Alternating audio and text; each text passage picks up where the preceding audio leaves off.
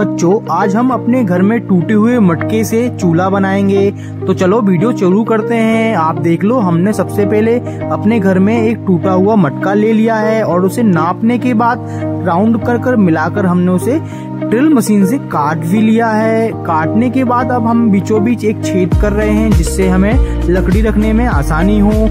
और ऊपर की तरफ़ एक और छेद कर दिया। फिर हमने नीचे ज़मीन पर एक बेस बनाया, जहाँ हमें अपना चूल्हा रखना है। इसलिए हमने सीमेंट और कुछ ईंटों को लिया है। दोनों ईंटों और सीमेंट को रखने के बाद उसमें हमने सीमेंट भर दी है, जिससे हमारी मजबूती बढ़ जाएगी और ऊपर से कुछ और ईंटें हमने लगा दी हैं।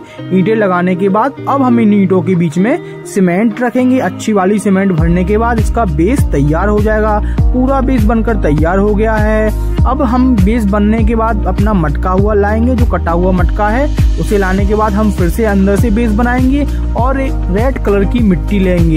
रेड कलर की मिट्टी लाने के बाद अस्तर अंदर फोड़ देंगे और अच्छे तरीके से जमा देंगे और चारों तरफ़ से चिपका देंगे। फिर हम तार लेंगे। तार की मदद से बीच में भी हम लाल कलर की मिट्टी को ऊपर नीचे हर जगह लगा देंगे और तार चारों तरफ़ से फिनिशिंग देकर उसे सही कर देंगे। फिर हम छेद में एक बनाया हुआ छेद था, वहाँ हम अपना पाइप लगाएँगे जिससे धुआँ निकलता रहे और चारों तरफ़ से हम फिनिशिंग कर देंगे और हमारा बनकर मटका तैयार हो गया है। अब हम लकड़ियाँ रखेंगे और कुछ पकाकर भी दिखाएँगे आपको। ये देखो, हमने फ़िश पकाई है। इसी प्रकार से आप भी अपने घर में बना सकते हो।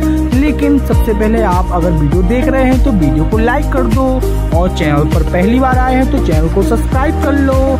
तो इस प्रकार से आप भी अपने घर में चिकन टिक्का पका सकते